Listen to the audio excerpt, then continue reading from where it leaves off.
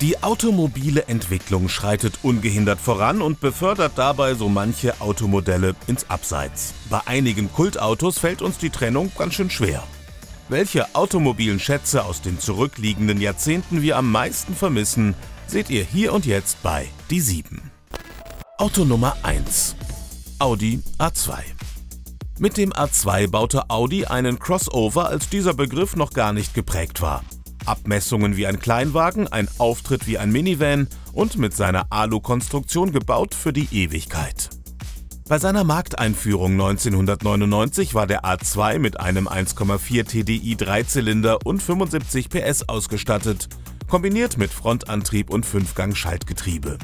Nur 1000 Kilogramm Gewicht, flotte Fahrleistungen und ein sparsamer Verbrauch waren die schlagenden Verkaufsargumente. Nicht gespart wurde dagegen bei der Verarbeitung, alles vom Feinsten. Den futuristischen A2 nahm Audi im Juli 2005 ersatzlos aus dem Programm. Von einem Wiedersehen in der Zukunft können wir nur träumen. 2011 zeigte Audi den A2 Concept, der bereits einen Elektroantrieb hatte. Auto Nummer 2 BMW Z8 Eine gänzlich andere Zielgruppe spricht dieser Klassiker an, der BMW Z8. Seinen ersten Auftritt feierte er bereits vor Serienstart als Dienstwagen von James Bond in Die Welt ist nicht genug. Der Retro-Roadster bestach Anfang der 2000er mit dem V8-Motor eines M5, 400 Pferdestärken und einem Sechsgang-Schaltgetriebe.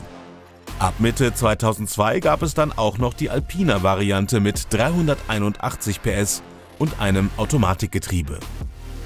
Damals besonders innovativ, schmale Leuchten am Heck mit Neon-Lichttechnologie und eine Plattform bestehend aus einem selbsttragenden Aluminiumrahmen, Spaceframe genannt.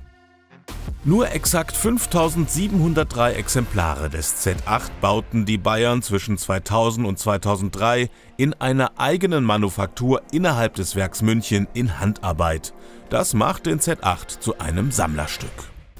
Auto Nummer 3 Honda S2000 Einzigartige Kult-Roadster kommen aber nicht nur aus München, auch in Japan versteht man sich darauf.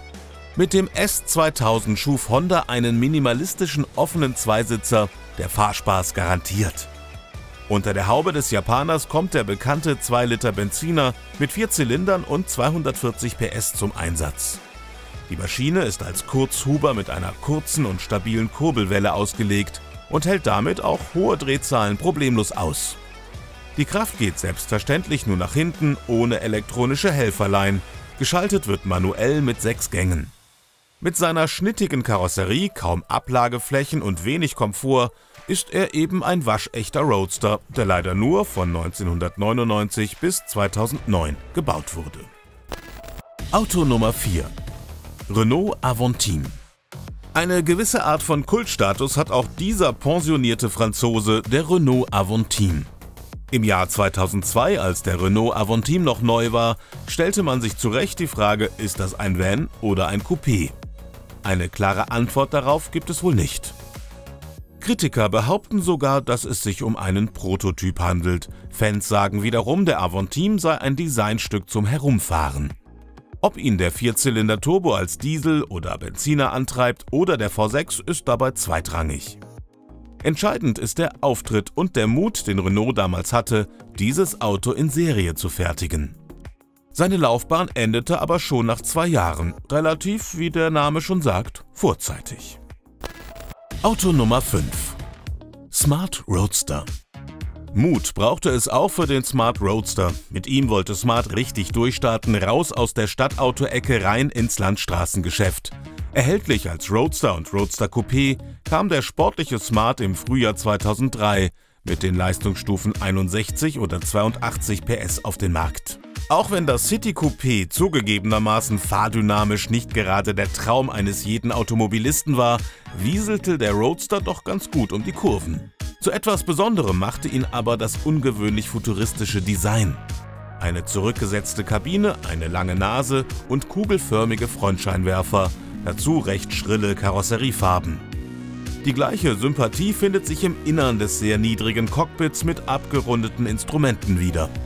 Heute gilt der kleine Flitzer ohne Wenn und Aber als Klassiker, zumal es gut gepflegte Gebrauchtmodelle schon ab 7000 Euro zu kaufen gibt.